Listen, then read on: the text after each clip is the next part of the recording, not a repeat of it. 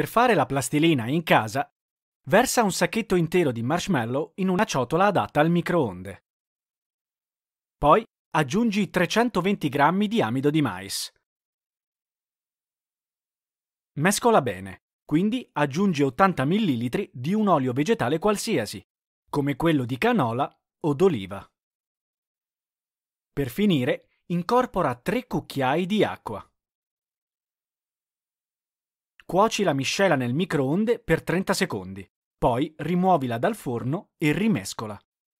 Continua a farla cuocere nel microonde e a mescolarla fino a quando il composto non si sarà sciolto completamente.